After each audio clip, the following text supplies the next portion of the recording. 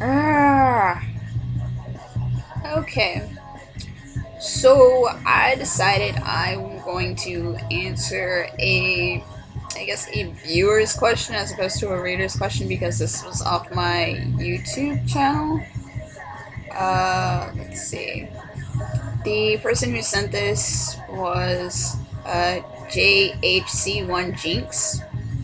So, uh, her question was really his or her. I don't know if it's him or her. But their question was kind of weirdly worded, but it was something about uh, why do Americans feel that other cultures cultures should know American history, but uh, they don't uh, take the time to learn other cultures' history.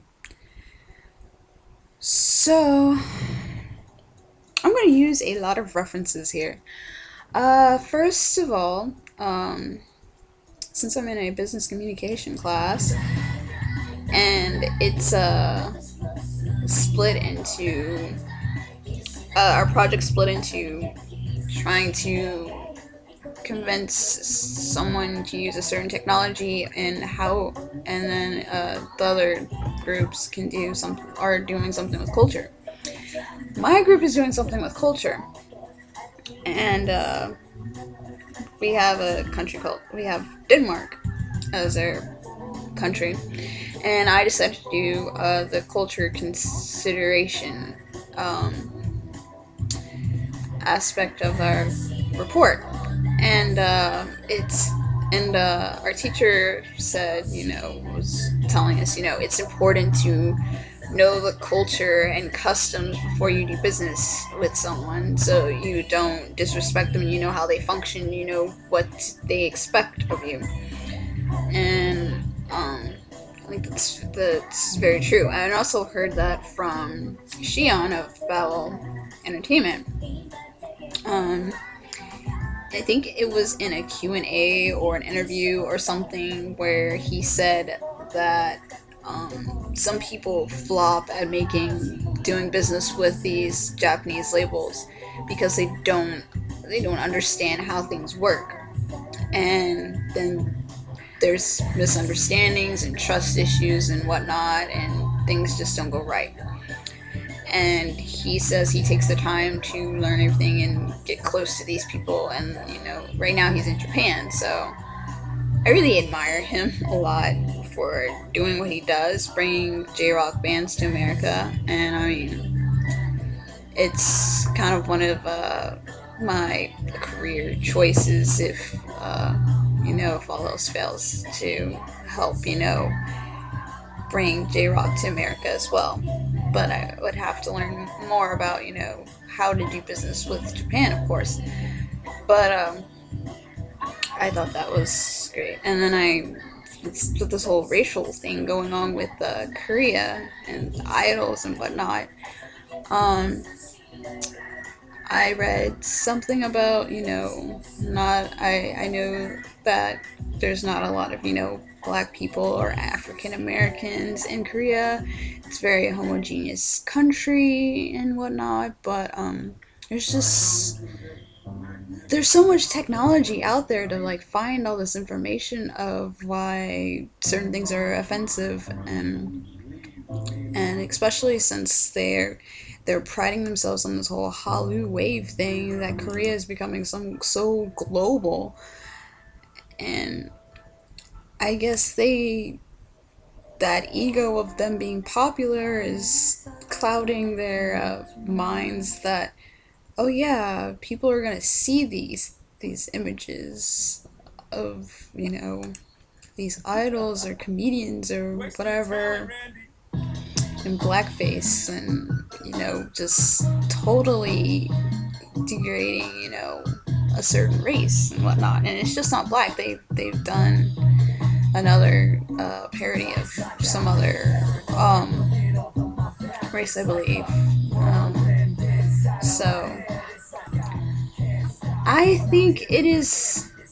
I, I think Americans feel I, I know this is like completely generalizing, but this is just a guess. I think Americans feel that other countries should know our culture because everyone wants to do business with us, with America, because we're such a, a rich country or whatever, and we just have like a lot of power. I'm not trying to sound like like we're superior or something, but um, but it seems like every everyone wants to either they want to be with us like you know allies or they just hate us because we have you know the freedom and power or whatever it we're um and I know that Americans don't know American history so I mean I watched a video on something um watched a couple videos and saw comments of people asking stuff about black history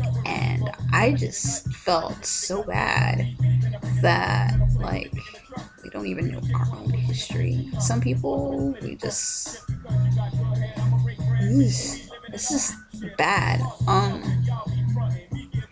but um, I agree the person who asked me that it is important for the exchange to happen.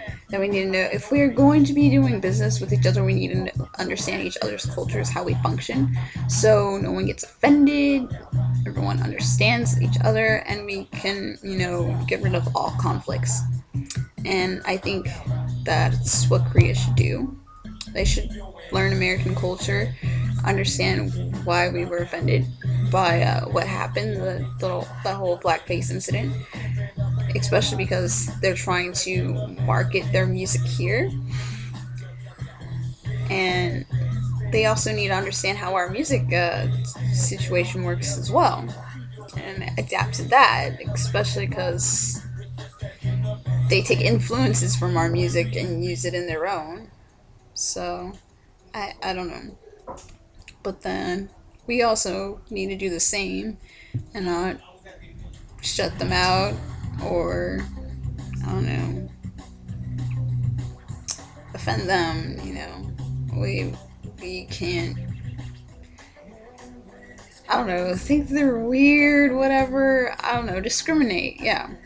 Like I have no when uh, Dir en grey first started coming to America, there was a lot of I don't know comparisons to American bands and the word odd and eccentric and weird and all these other things was added, but it had like a negative inflection to it some sometimes not like weird, strange, inventive like Lady Gaga. That's like praising. But when it came to Dir en grey, it was like I don't know if I like this. So, but um, yeah, I I think I hope that answers your question.